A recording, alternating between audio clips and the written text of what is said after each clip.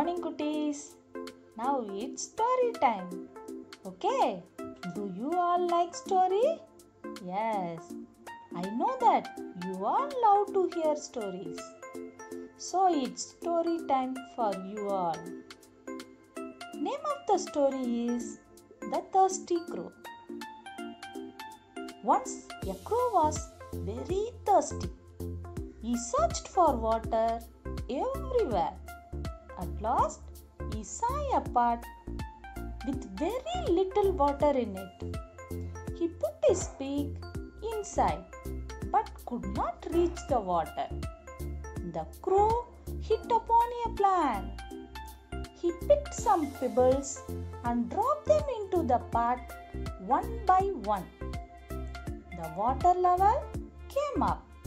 The crow drank the water and flew away happily.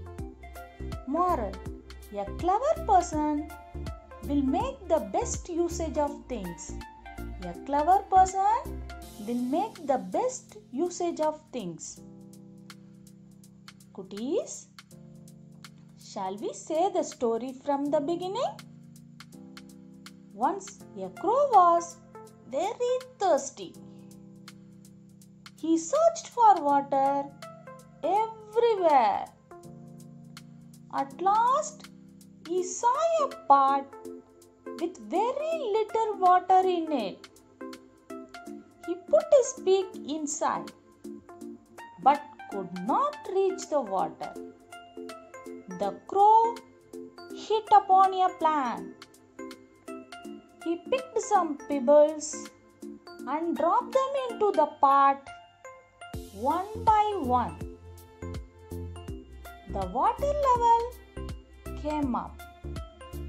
The crow drank the water and flew away happily.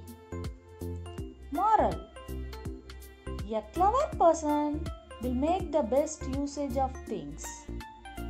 A clever person will make the best usage of things. Thank you, cuties. We will meet in the next class. Bye bye.